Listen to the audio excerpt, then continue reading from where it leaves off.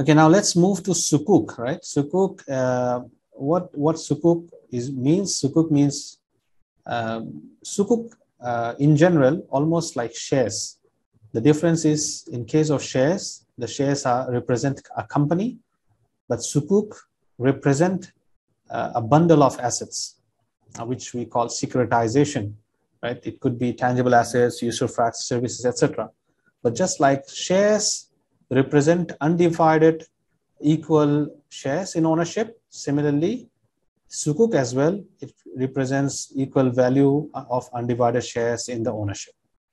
Now there is a difference of in purpose as well. Shares, uh, the purpose is equity financing for a company. But sukuk, the purpose is uh, something close to debt-based financing like bonds, right? So end of the day, the financiers, the investors, they want to exit uh, with a sort of fixed return and within a fixed period, but which may not be true for equity-based investments. So those are the some some few things to differentiate between the two. This is a overall difference. So investment sukuk, it could be based on sale. So we may have murabaha sukuk, salam sukuk, istisna sukuk. By the way, there is no um, agreed upon convention like how to name sukuk. But usually, uh, one of the prominent contracts used in the sukuk are used to name the sukuk. So in a, in a lease sukuk, for example, in a ijara sukuk, there could be also a component of istisna uh, or, or, any other sale, sale, sale contract as well. But maybe we are naming it ijara because it is the mostly involved contract. So uh, that's, that's, that's something to note. It could be also different partnership based sukuk. Uh, it has to involve specific assets it couldn't be just like loans without any assets attached. Of course, there are practices of both asset-backed and asset-based sukuk. Asset-backed sukuk are where the sukuk issue, issued are representing certain assets and the recourse is to those certain assets only. But asset-based sukuk are where the sukuk do not have specific recourse to that specific asset, rather that asset was used to uh, to to uh, to issue the sukuk slightly different.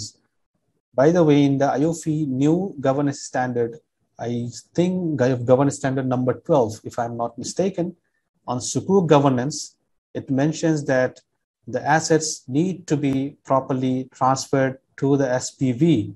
So this makes asset-backed sukuk more in line with AAOIFI standards rather than asset-based sukuk. And it has been clarified in the, in the appendix of that governance standard as well. Anyway, those are not part of the curriculum. Let's go back. So in terms of credibility, either the sukuk is tradable or not, it will depend on the underlying structure. Basically, the logic is the same as I detailed in the currency uh, slide. If the sukuk is representing something uh, tangible asset, of course, it has to uh, it has to uh, follow a certain threshold. Then we can consider that the sukuk is representing tangible assets or intangible assets, and we can trade it for whatever value negotiated upon between the parties. But if the sukuk is mostly representing liquid liquid money or debt receivables, then it has to adhere to the rulings of uh, sarf or currency exchange, meaning that the sukuk can only be tradable or rather I would say transferable at the face value. Okay.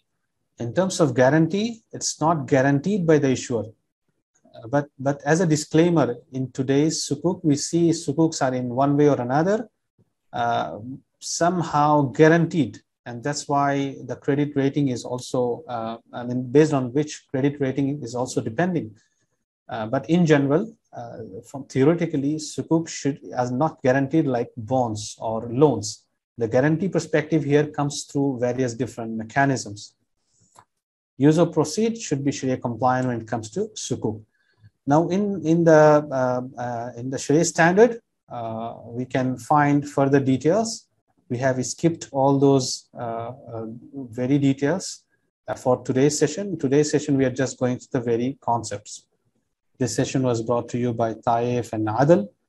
Uh, if you have uh, benefited from it, please share in your social media platforms about both entities and share the word, spread the word.